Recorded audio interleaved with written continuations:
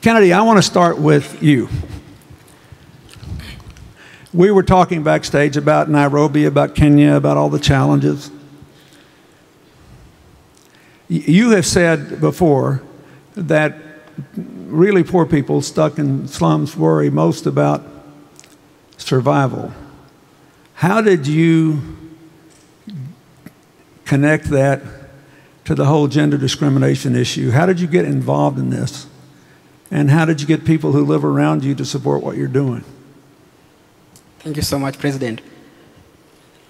I think when I, while I was living in Kibera slums, what I saw around is that my mom and she had like eight kids.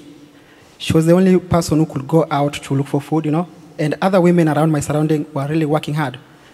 And we passed, is, honestly, it's a place whereby you, you go days without food, you know, and that's part of the life.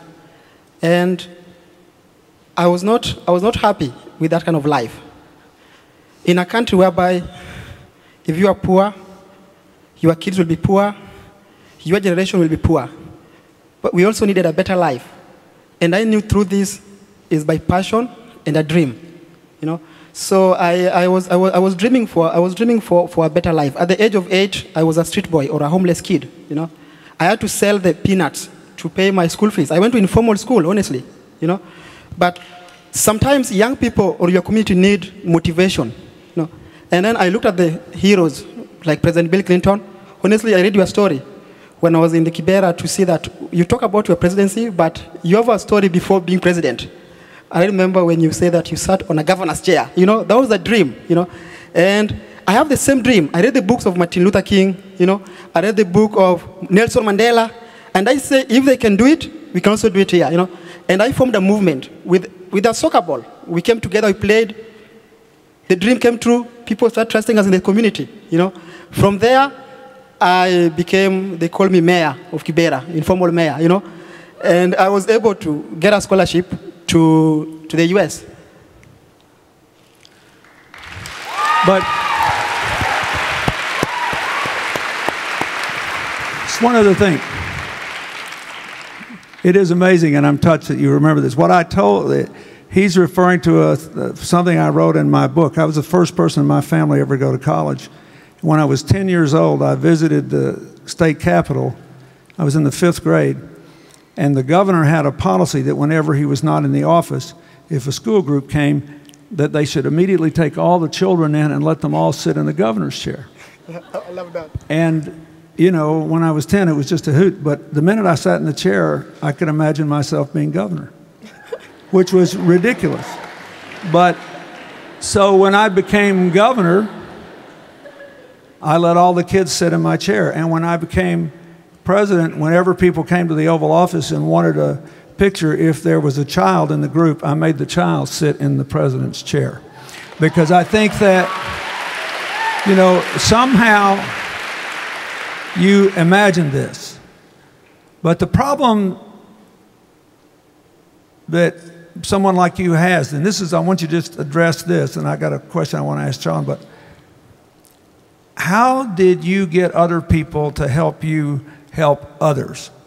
Because we can all relate to one star. You know, there's some people like you that if nothing ever changed there, look at you, look at who you are.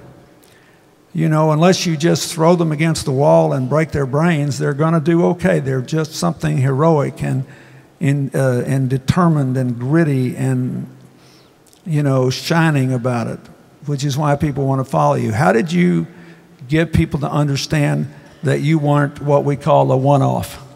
that is, that it wasn't just you, that, that all these kids deserved a better future. How, how, how have you done that? How have you gotten people to think beyond you and, and just what you do to your efforts to help all the other kids that live there? I think they, everybody in life, they know what is happening in their life, and they know, everyone knows that there's injustice in the world. But what they need, sometimes people need what's called eye opener. And we have few individuals like you guys who are here. What you are doing, you want people to do, we want people to see the way you are seeing the problem in their own eyes, you know. So when I was charged like, oh Kennedy, this is not the life I want to live. This is not a good life. But I believe that if we come together, we can fight this. We can fight this giant of poverty. We can fight this, you know. So I, I invited young people to my, to my room in my house, and I told them, I wanted to make them see the problem the way I'm seeing it, you know. And I had to explain, and then people need hope. They were hopeless, you see. And they were like, you have to, when you have hope, and when I use the character like your name, Mandela, you know, they feel motivated because a problem for us has been when we were looking, everyone was like, Kennedy, we can do it. Tell me anybody who has come from poverty, who has made it in life. And honestly, we only see politicians. And this is politician are this from upper class family. so when a politician tells you like you are the leader of tomorrow, and you know where the politician coming from, you know, will you trust that politician? So they needed some faith and hope, you know. And I felt that I was able to portray that hope using other figures, heroes, you know, that they can relate to. You get? So the, the idea is that have hope and try to find a way how they can see the world the way you are seeing it. You know, and I was able to have some few young people who are also who felt motivated. Then they're going to do the work. If everybody in this crowd sent you $10, what would you do with it? Every person out here sent you $10 for your print, What would you do with the money? Okay, if someone, that's a good question, President. I don't get a percentage. yeah. What I'll do with the ten dollar is like I will. I, I know in the community what they, they, they, I have a school for girls in, in Kibera, you know, and I will buy more books for the for the girls, you know. That I'll do with the money because right now we, we need more books. And why did you make a decision to set up a school for girls? How did you come to that decision? I read that an enormous percentage of girls in Kibera are already selling sex for food by the time they're 16 years old. How did you, how did you do that? And was there, was there any resistance to providing more education for girls when you started doing it? Yeah, that's a good question. Uh, well, the school for girls came through my experience, you know. I saw my mom, what she was passing through, and my sisters at the age of 16, they all became pregnant. They left school, you know, they, and their life was hard. And then, so these kind of challenges, and I felt like women are the engine of development in any society. And uh, President, I also wanted to add what is called a value on a woman, on the women, you know. So starting a school for girls, at the same time starting other social services like the health center that we have. Sometimes men in, the, in, in Kibera, they are so proud, you know, but when they come in the school for girls and start reading newspaper, when they come to the Kibera school and start using the toilet, the latrine toilet, when they come to the, when they are sick to the hospital, they say, I'm going to Kibera school for girls. And then it's adding value on them. Like, without this Kibera school for girls, no health center. So instead of, I realize that this is, a, is not a fight of one, of, of, of one gender. You have to fight it all. And honestly, now, Kibera men are supporting me in this work.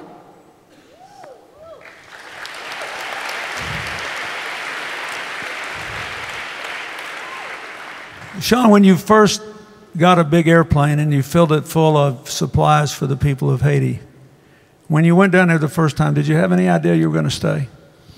No, no. the The intention at that point was to go down for approximately two weeks. That's what the, we had our, our own self-sustaining supplies for. Um, but then once we got down there, there was a, you know, I, I had seen in during Katrina that there is a certain level, and, and, and notwithstanding any missteps or incompetence in, in the government reaction to Katrina, one can see in these kinds of circumstances that there is going to be an utter chaos. There's going to be there, there, there are new challenges that are that have to be quickly learned and adapted to in the best of circumstances. So, in in a sense, there was that that that confidence that one wasn't going to be in the way, that there were going to be gaps to fill. Um, there is there, with in, in, in the situation of Haiti where there was so little infrastructure to begin with, and that and, and that one who's, who spends any time or has any investment in Haiti wants to always remind people that that this was this was an earthquake, but that, that, that it was a that it's a poverty issue. It was a poverty earthquake. When I was a kid, a young teenager, there was a 7.0 earthquake in Los Angeles where I think 20 people died.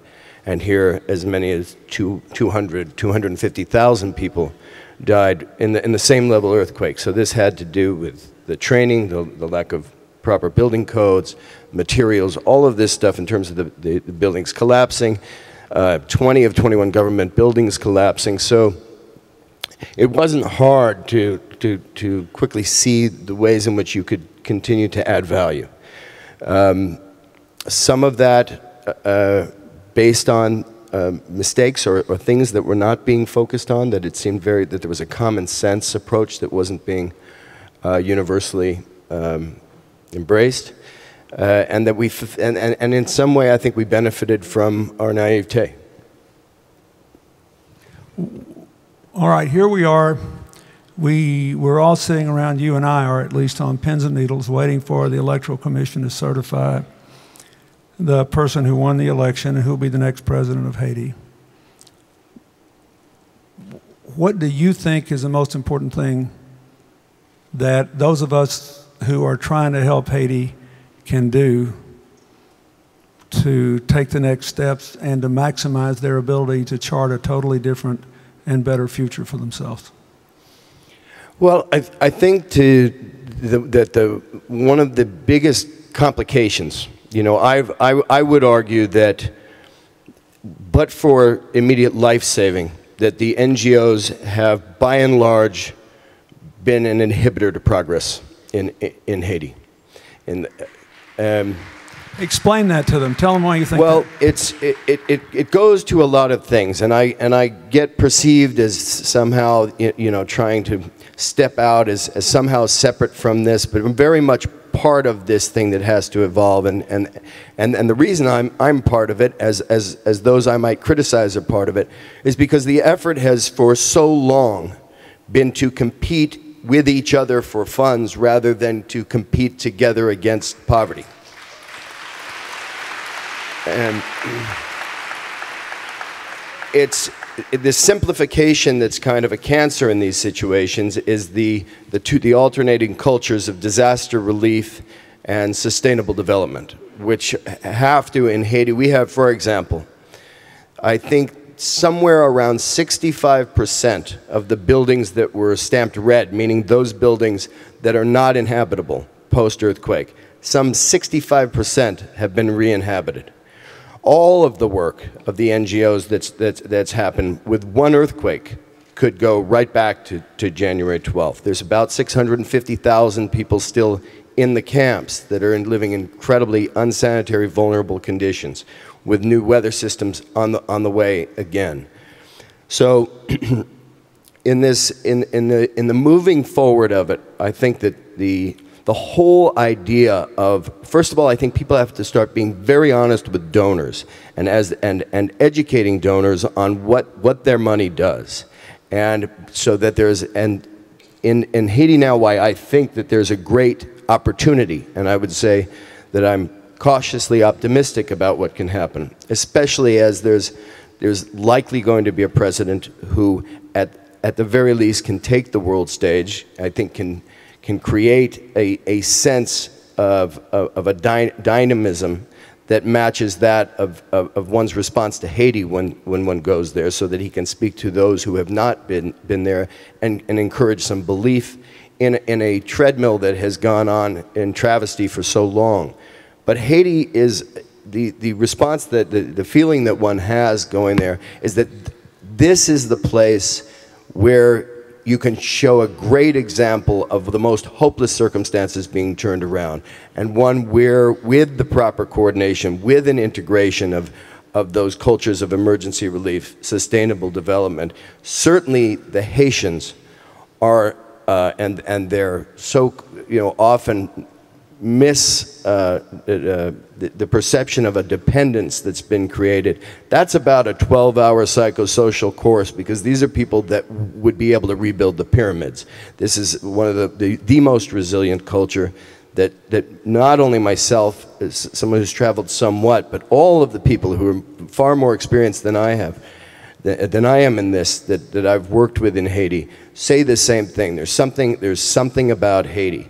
And the, and the something about Haiti that's most important is that if we complete the. Uh, backtrack one second. What happens in this competitive culture of NGOs is that there are projects that, that lend themselves to emotional support of donors and they become kind of trendy. And so the NGOs tend to do demonstrations of project completion, which are ultimately left incomplete, considered in the long term a failure, which they would be, uh, in an effort to move on to whatever is, is, is, is the most financeable next step. And that, that, that comes out of, that comes really out of the, the, the way in which those two cultures of, of emergency relief and sustainable development have not found a way to, to recognize uh, their, their parallel course. Yeah, let me explain that the, the place in the world where these problems were reconciled best, in my opinion, and it's somewhat self serving for me to say it, I'll explain why, was in uh, Aceh in Indonesia after the tsunami because when the, the UN uh, asked me to work there for a couple of years and coordinate it, I, I said, look, our goal should be to work our way out of a job. I mean, why does he have a school for girls? Because if he educates them properly, they don't need to be dependent on him for the rest of their lives. Then they can have their own families, they can help their own communities. So if you do any kind of NGO work that's not a disaster, you should be dedicated to making yourselves irrelevant to the day to day sustainability of the people you're supporting. There is no other rational way. So, for the first time ever, when uh, in a large scale disaster in, the, in Indonesia, we developed a, a, basically an online tracking system where we put the government donations of the donor countries the World Bank and all those other people. Everybody was giving money with the private NGO spending. We got all the major NGOs to agree to sign up. And everything had to be approved according to the economic plan that the Indonesians had developed. And then we did it together so that it wasn't like they were establishing a beachhead among these poor people and then they could keep helping them forever. And I have to say that it was easier in Indonesia because the president of Indonesia put a magnificent man named Pak Kuntoro in charge of it, and it was easier because it was one small province of a very vast country. This was the capital of Haiti. It was uh, 30% of the population, two thirds of the GDP crushed in a day. It's harder, but it's the same thing. And so this is the first time we've ever gotten, like a lot of the NGOs who agree, to put up on our, you can go down and check our website now and you can see at least how the NGOs are spending their money, that every expenditure of any amount uh, by most of the NGOs is approved by the commission. The Haiti Commission is now half Haitian and half donors. They all work it together. Whether we'll succeed or not, I have no earthly idea. But what he's telling you is true. And the Haitians have uh, been abused and neglected but they've also been patronized as this, oh, this is so much poorer than any other part of our hemisphere. It's like we'll be able to pour our hearts out there for life. That's not what they need.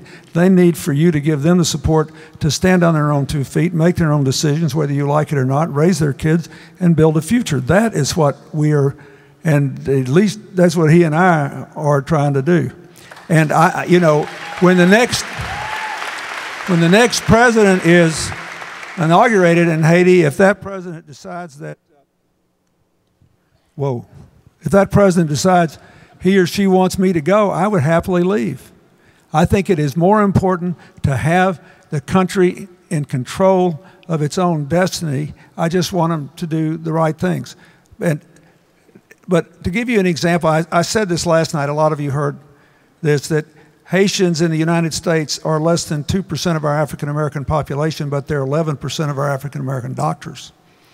When uh, Henri Christophe won an inter Haitian struggle to lead Haiti, the Haitians, with not a single university graduate, much less anybody trained in architecture, built 27 mountain fortresses in the hills above Port-au-Prince and the rest of the country. And they did organized drills in all the communities. They said, We think the French will come again for us, or the British will come, or the Spanish will come. We want you to be able to climb into the mountains, be in a fortress, and be safe. Or if they're all filled, you can go into the woods, into the forest, that all of which were protected by this circle of fortresses. The largest of those fortresses, built in 1820, La Citadelle, still exists almost as it was built, and you look at it, it's inconceivable that people with no education, no architectural training, nothing, built what is to this day still the most impressive architectural achievement in the entire Caribbean. People don't need to be patronized, they need to be empowered. And I think that's very important for all of you when you do your projects to realize that there may come, there should come a day when whoever it is you're helping doesn't need you anymore. And that should be all of our goals, in my opinion. So,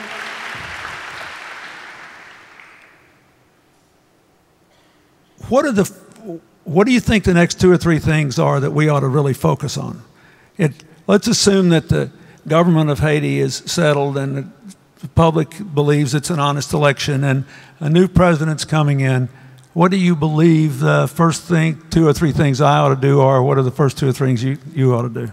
Well, I, I think that beginning with what the new president and the likely new president will, will do, it's to establish with support the kind of sense of security that will allow investment, that businesses can come you know, when we're separate and apart from reconstruction, just based on areas where one is decompressing camps, doing rubble removal in neighborhoods, and trying to get people back either in, within Port-au-Prince or in following the mandate of decentralization, that ultimately where you, where you encourage people to go to make it better than being in camps needs jobs. So there's been, with Haiti being a country that I think it's since 1804, 45 heads of state and five have left office alive. Um, so it has this legendary history of, of, of instability. It's very overrated. Um, this, it, it's a country where uh, there are American companies that are doing well there, uh, Voilà being one of them. There's Digicel is there. They're, they're, they're, they're the, those who take bold steps, whether it's in the NGO world or the business world in Haiti, have actually come to find that, that even under the, these very complicated circumstances, there's a place for business and investment in Haiti. One of the, I think, to unapologetically encourage that investment, to understand that what is a sweatshop in an American perspective is for a few dollars more, perhaps, an opportunity for a job, and that Haitians, given the right to organize labor, will get their due.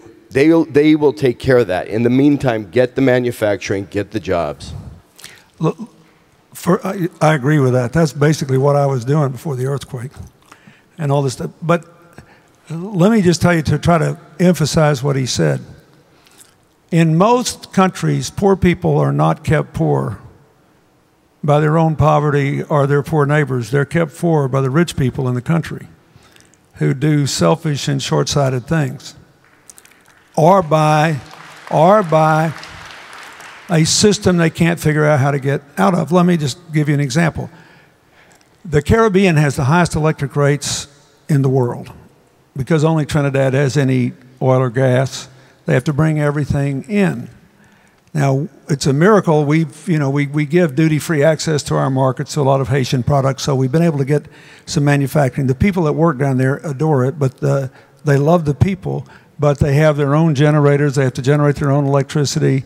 They're worried about the cost. So, one of the things I'm trying to do is to break the monopoly of going through one power source having all this oil uh, or diesel imported at very high prices, and get a markup on it. We need a decentralized competitive system. If you heard the comments of the president, Shirley Jackson, president of Rensselaer last night, who's an energy expert, we need to decentralize this and maximize solar and wind and other alternatives in Haiti and throughout the Caribbean to do that. If you use the port, there should be three ports Uh, Jamaica has a per capita income much higher than Haiti. The Haitian port fees are higher than they are in Jamaica. The jet fuel costs more. Now, part of that, in fairness to the government and the business interests, is because they have always been so poor, they never had a broad based, effective tax system. So we're trying to help them set it up. So you follow choke point revenues, where you just, Willie Sutton said he robbed banks because that's where the money was. So you go to the ports, you go to the airports, that's where the money is. People have to get in, they have to do business, so you charge more. They have to have electricity, you charge more. It is a crazy thing to do. And so I agree with you, and that's what we're trying to do. Now, that, now it brings me back to you. Kennedy, you, you've worked hard to empower women, and presumably you could have 10 schools in Kibera that you could fill with girls that need this. But let's just uh, let's assume for the moment that that because what you're doing is so compelling and that you get more support on that. Have you given any thought to whether you could put economically viable operations in the slum that would change the economic circumstances of people there, that they could start their own businesses or otherwise make uh, do things that would give their kids a better future? That's a good point, President. And even now, you can see this bracelet is being made by women with HIV/AIDS who are trying to make their life. We also have we have initiated water water tanks that are bringing income, and we have a community center, Shofco Community Center, whereby women and men come and meet and share their ideas of entrepreneurship, you know, and how they can start their own business, you know. So we have been holding. We also have savings, you know. So I believe that economy of a place is very, very important because, President, honestly, Kibera is a country of its own. You know, people who live there, they, when you go, you'll see people on the road trying to sell things. You know, people are really working hard. Young men, my friends, are having barber shop. You know, that's what they're doing. You know, so also we are also trying to help them by you know by in, by giving them some small loans. You know, yeah. So that's very, very important. So you're providing microcredit loans. Yes. What's the average size of a loan? Well, right now, it, it's more like 4,000. That's like, mm, divided by 80. Mm, 50, $50. Yeah. How do people cook there in Kibera? Do they use charcoal? So many people use charcoal. People use the paraffin. And it's always difficult to get because it's really high priced there's a project in a neighborhood in Port-au-Prince that was going on uh, in the aftermath of the hurricanes of 2008, before this earthquake, that I have tried to support. That you should think about. I would be glad to get these people to help if you're interested in. But I thought about it a lot in uh, Kenya. a lot of you know who uh, Wangari Maathai is, who won the Nobel Prize for trying to plant 30 million trees in Kenya and all that. But in the last uh, couple of years, almost all the new plantings have been taken down amidst the poverty and difficulty. And you're back, Kenya is about to get back to a 1 or 2% forest cover, which is devastating for agriculture and devastation for water quality. But anyway, it, what they do, and this has been really an amazing thing in this rather large neighborhood in Port-au-Prince where more than 100,000 people were living before the earthquake uh, this community group organized first a group of women to go and pick up all the garbage because they had no garbage collection except for big centralized containers for near businesses. Then they would uh, do the recycling separation. They'd separate all the glass, the plastic, the metal, and sell that. Then they designed their own way of shredding all the paper products and making the wet and putting them in a mold and then drying them out and cutting them up into little briquettes, which they sold for cooking. Three of these briquettes sold for about uh, 40%, 30% of what charcoal would cost, and did the same thing. Over, over the course of a week, a, a family could cut by 70% the cost of preparing dinner. And for poor people, it's a big deal. So when this is over, if you're interested, maybe I could get you some of the people to you know tell you how to do it. But it's the great thing about it is, it we employed so many more people, and if you cut the people in who are bringing in the charcoal, so you understand they've got a legitimate need to make a living, then you at least give the people a chance who are trying to keep the trees up. But uh, I hope that once we resolve these housing issues and, and we can see Port-au-Prince in neighborhood form again, that we will be able to do this all over the city because uh, one of my goals before I die is to close every landfill in every big city in the world because they are contributing to global warming with methane gas and they're gold mines. You know, I see that the way some people see oil wells. I look at these landfills and they're full of things that can be recycled. And if you turn them into generating electricity, then you give the land back to poor people. You can give, you could have playgrounds for your schools. You could have, you know, you could do all this. So if you have any interest in it, I'll try to help. Let's see, we got some questions here. Uh, text questions. God, oh, wait a minute. I didn't bring the right glasses. Okay, for Sean. Now that the spotlight has faded and the initial funding rush is gone, how can we ensure that Haiti remains a priority in the international community? Well, this is this is always a struggle. Um, there, there, there are a lot of ways in which the spotlight needs to show. I thought, I thought when President Clinton mentioned um, uh, those within the within the country that uh, hold a kind of stranglehold on on their own, that um, there, there's a there's a great call for media to do. Uh, it would be very simple. It's only about ten families. I think a, a, a great uh, expose on them would be an exciting thing for Americans and Haitians to see. And and um, and and and by expose, I don't mean to to presume something critical, but just to to let people know what they do, how they do it, uh, and what level of investment they, they, or responsibility they feel to their own country and their own people, uh, as demonstrated by uh, the ways in which they've worked in the country. Uh, some have been uh, productive. Uh, largely, it's been a third, third government, second to the government of Haiti and the NGO culture itself, um, in, in if, defining government by those who have power and, and money at hand. Uh, and, and, and one of the great uh, creators of this kind of continuing system of, of a country that should be exporting and is, and is, is largely importing. Um, the, the, the, when I talk about it, because you know it's very difficult. I was in Berlin recently at a Cinema for Peace event, and they, the documentaries that they were celebrating called attention to so many parts of the world in so much need, whether it be the disaster, and then we have things Libya and Japan and all of these these things that certainly take emotional precedence and in, in, many cases legitimate precedence for for periods of time in, in response.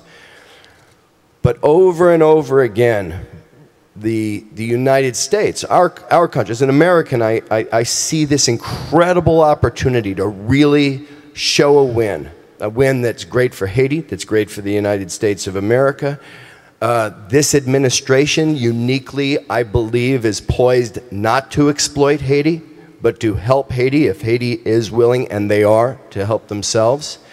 Uh, you've got a, a gem of a place in terms of human resources to, to take a uh, carbon footprint that might once have, have uh, burned everything uh, in, in, its path all the way from China to just an hour and a half from the United States. Uh, it's a very fixable place, and it's the kind of success that is worth the investment, that is worth the attention of the media, and the, and, and the media has to be reminded of this. And, and, I, and one of the things I think, for example, um, that some bold moves in terms of, and particularly outside of Port-au-Prince, in terms of uh, the immediate establishment of, of, of manufacturing, of schools, of hospitals outside, giving, giving uh, incentive for people to disperse that incredibly dense pop population in Port-au-Prince. Uh, yeah, that's something you should all know that. We, we've, you've all read about the deforestation in Haiti, but one real problem is three million people lived in the Port-au-Prince area, and that beautiful bowl of land where it's built, looking out to the water, was built for about 200,000. But uh, one of the things I want to put in a little plug here, one of the things that makes me hopeful about Haiti is that this is the first time that its neighbors have looked at, at Haiti as a partner and a potential growth center, not a basket case next door. The Brazilians have been great, the Argentines have been great, the Caribbean community has been great. Uh, Luis Alberto Moreno, the head of the Inter-American Development Bank, they've been great. And uh, President Obama asked uh, Hillary to take over the, you know, lead the Americans' response because he knew that we'd been down there in 75 and we cared about it. And her chief of staff, Cheryl Mills, has virtually lived there. And we are, they just, they did the work to get Brazil's first ever textile mill and the biggest clothing manufacturing investment they ever got. They'll get a minimum of 20,000, maybe 40,000 jobs out of it. Uh, the Royal Caribbean Line and Bob Johnson, who founded Black Entertainment Television, they promised to build not one but two resorts in the north of Haiti once we get the airport there expanded and a road built. And one of the problems that we've had is Sean was talking about the elite families that have uh, monopolies or virtual control. What I've, I've gone to them and said, look, I don't want to put anybody out of business. You'll make more money if you do business with me. You just won't control things. And what you have to decide is would you rather have 10% of a billion dollars or 100% of a thousand dollars? You do the math. In other words, you, you shouldn't try to maintain your political, I mean, your economic standing by holding everybody else in your country back. And, and 19% of Haiti's income every year comes from people like you that go out of the country and they send money back to support their families, remittances. Just charging fees and converting it into Haitian gourdes, banks can make a healthy amount of money. So there's no small business lending. If you're a small business person in Haiti, if uh, Sean and I weren't famous, if we were just, you know, a Haitian diaspora and we wanted to go home, we'd have to pay 45% interest at a time when interest is virtually zero to borrow money to start a bakery, for God's sakes. There's no mortgage system. So when President Bush and I were asked by President Obama to raise some money, we decided, look, everybody else is giving all this, you know, for the emergencies. We're going to spend our money to spark long-term sustainability and we set up a mortgage system and a small business loan program. And now we've got banks saying, hey, we might change that. Maybe we'll do that. we we, we can have a mortgage system. We can do this. That's the kind of thing that you have to do everywhere. You have to set up a, you have to convince the rich people in poor countries they can do better by taking a smaller percentage of a very, very big pie. And that's really important. It, it's a huge issue everywhere. And People can't imagine that. Let me ask you something, Kennedy. What, what about all these students here who don't come from someplace like Kibera, or even in the United States, who want to work there and they have limited money? How can they have an impact? What would, what's your advice to them? How can they they can't be you. They didn't come from a place like that, but they want to do something meaningful. What's the best way to do it? Uh, I want to be honest with you, and I believe that I believe in what's called global partnership. The world is becoming small through the social media, those kind of things. Okay? But one thing we have to keep in our mind: you are going to work in a community that you don't know well. Let's not judge them. We don't understand how much to stay two days without food means. We don't understand why we can call it gender equality, but yet there's less resources. And the only people who can survive there are men. Why? We have to ask ourselves this kind of question. But anybody in the world want to be appreciated and be made feel better. So when you come to my community, you make me feel valuable you want to listen to me. And you are a brother and sister who are just trying to work with me together. You see? I tell you it is possible. One example has been Jessica Posner. She's now in Kenya, working in Kibera. I'm in the US studying. you know. But because of that partnership, because of that respect and mutual understanding, you can go far. And I know now you have commitments and you are going to those communities. I want to tell you, they, they need you because they can't do it alone. You can't do it alone. You need to work together.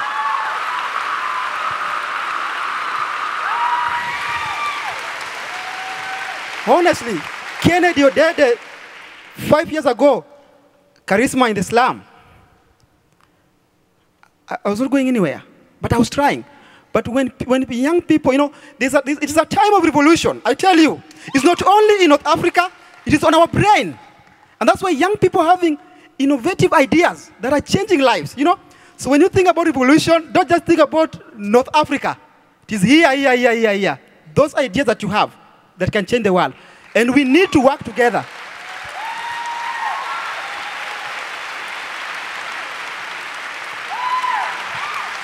You know, maybe we could flesh that out just a little bit. One of the most impressive things to me,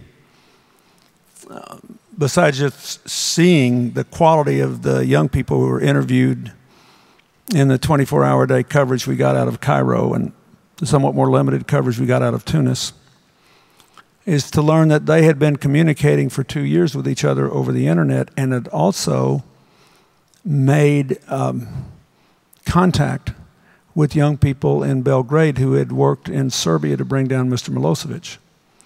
And what I kept thinking was, um, and there's a school for kind of organizers that they went to in Qatar, but that's the only kind of non virtual reality, you know, the only kind of thing they did that wasn't in cyberspace together.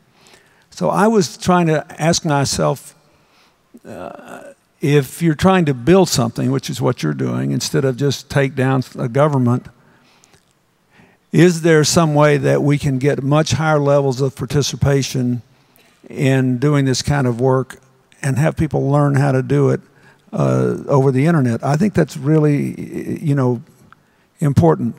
And, uh, you know, you've been a little modest here, but this is kind of a, a breakthrough, I think, in Kibera, the what you're doing for young girls and women, but it's a breakthrough that has to be done everywhere. If you're worried about the population in the world growing fastest in the poorest places, least able to take care of them, and you know that given religious and tribal and cultural restrictions, some places you can do family planning, other places you can't. Some places people will use birth control, other places they won't. The one thing that has worked all over the world in every culture to reduce population growth is to put all the girls in school and give all the young women access to the labor market. It always does it. So, talk about that. What, what would you say to them?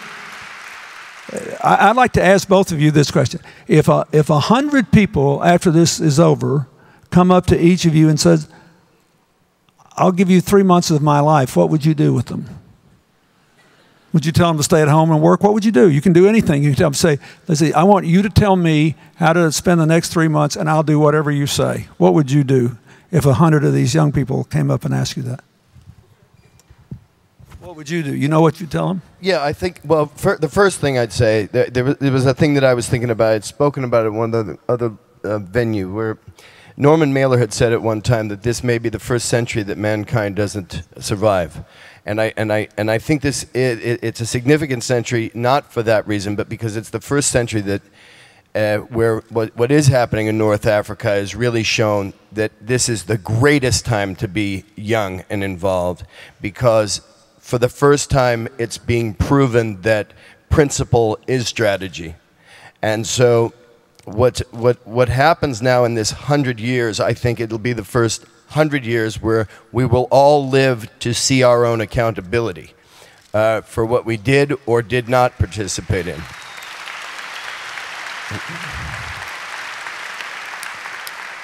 Given that, I, if I had any uh, one of you for three months, I would I would say um, uh, fundraise for my organization every day. And now that you're fundraising and you have my phone number, badger me with a better idea for how you'll be valuable to the thing, and uh, we'll, we we would find a place for you. But, but there, there is a place that when I've, the people that have come and volunteered, have many of whom, in the same way that we work to uh, give the, the empowerment back to the Haitians to, to work ourselves out of a job. But we do that with our own staff members. And many have gone on to, to, to, to once learning the ground to understand a way that they can invest their particular passion, that one that's going to going to continue and that they'll stay committed to because it's not all going to be cookie cutter. And, and the models, for example, in Haiti, the models don't have to be repetitive models.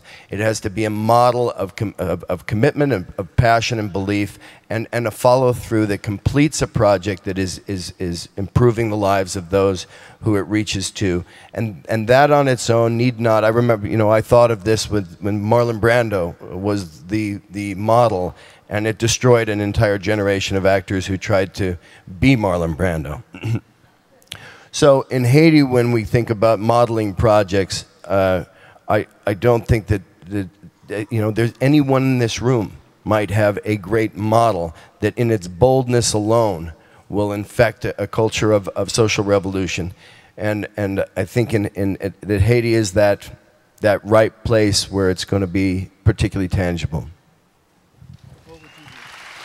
So, a hundred of these people said, I'll give you three months. I'll do whatever you want. If you want me to go around and collect a dollar a day for you at home, I'll do it. Just tell me what you want. Anything you want. If you had a hundred of them and you wanted to maximize their impact for good, what would you do? What would you tell them to do?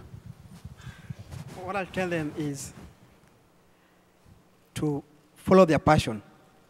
Because I believe that when you work on something that you feel passionate about, you can make a big movement.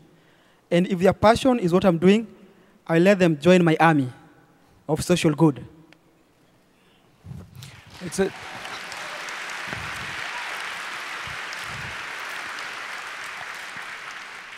At lunch today, I had a meeting with um, a large number of the students who came here from other countries.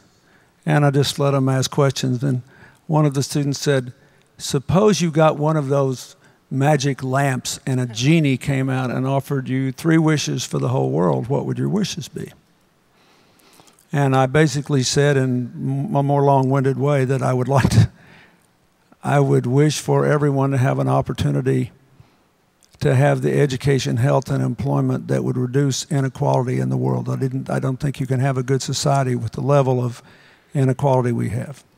I would like it uh, if we had a, a, kind of economy that would require radically changing the way we produce and consume energy so we would not only avoid the worst consequences of climate change, but we'd have long term sustainable economic growth. And I wish people would, my third wish was that we should concentrate more on the 99.5% of our genetic makeup that's the same as everybody else and less on the half a percent that's different. And so, but it's the same thing. And I, I know we're out of time, but for some reason, and I don't want to embarrass either one of you, but uh, I'm known nowhere near the poverty you were grown up in. You've grown up in, but it's a relative thing in terms of what it does to your mind. When I was a boy, growing up in Arkansas at the end of World War II, our income was just a little over one half the national average. So people tended to look down on us and thought we were stupid. Well, I knew better than that. I knew that the truth is we had no education, we had no opportunities. And uh, that was back before there was the impact of the GI Bill in America. And you could go to a gas station to get gas, and the local mechanic might have a higher IQ than the physician. Life chances were a crapshoot. You want to even them out. And I think one of the biggest problems we have in the world today is that too many of us have accepted the way things are, that the, the way we use and consume energy is inevitable. It's just too easy. The way, so it's too bad there's a lot of poor people. I'll give a higher percentage of my money away instead of how can I invest it to empower them. And one of the places we work in uh, Africa with the AIDS work and agriculture work in the rural areas, when people see each other and one says hello, the answer is not hello, how are you? The answer is I see you. in English, I see you. You think about all the people in the world today who are never seen. Why are you so moved by him? Well, he's impressive. He got out of this horrible slum. He's at Wesleyan. He gives a good speech. He's charismatic. But oh my God, he still cares about all those people he left behind. And he knows that a bunch of them could do what he's done if they just had the same set of chances. He sees them. I think one of the reasons Sean stayed in Haiti is he saw them. They're amazing. They've been treated like a basket case and, and abused and neglected or patronized for over 200 years. Second time I went down there after the earthquake. Any of you have ever been to Port-au-Prince know you, you land at the airport and you drive down this street which is wrecked and now covered with tents. And um, there are, on the good days, there are, you come to a place where there are these little wrought iron fences and they're all covered with Haitian art on both sides of the street. And then on one side of the street, there's a little park. And the time I was there the last time before the earthquake, there were a hundred, give or take, artists in the park. You know, it's like the national pastime, the, the woodwork, the painting, the metalwork. So the second time I went down there, everything was still terrible, but there were about eight brave souls who had gamely put their art up, even though hardly any planes were landing except to bring humanitarians in. So I stopped my motorcade. I said, I want everybody to get out, everybody buy a picture, and nobody bargained with them about the prices today. Pay whatever they ask. So I went and bought three little pictures, and I was leaving. And this guy screamed at me, You can't leave without buying something from me. You bought something from me in 2002, which is true. I was down there when Aristide was in his second term and we were starting our AIDS work in Haiti. So I, I went over and he showed me a little picture he had. And we started talking, and I said to this guy who had a smile on his face, you know, I, said, uh, God, I admire you for being here. And he said, Oh, you shouldn't admire me. He said, I lost my wife and children in the earthquake. I have nothing else to do. And he said, but we're all a family here. Everyone knows everyone else's story. And the only way I can honor my wife and children is to show up here because they know if I can do it, then they have to have the courage to come back too. All over the world, there are people like that. The reason you like them is they see those people. And if you do, and enough people do, and you just do what you can. It doesn't matter if you're a famous movie star, and it doesn't matter if you happen to live in where you're trying to help. You can make a difference. We didn't know a single solitary one of those kids that changed the course of Egypt or Tunisia, except for we have one Tunisian student here, I know, native. So I ask you, uh, just think about that. Don't patronize people, see them and think of yourself as working yourselves out of a job. All most people want is to be able to stand on their own two feet and make their own decisions about their lives and their dreams. And I'm very grateful that there are people like Kennedy and Sean who are helping. Thank you very much.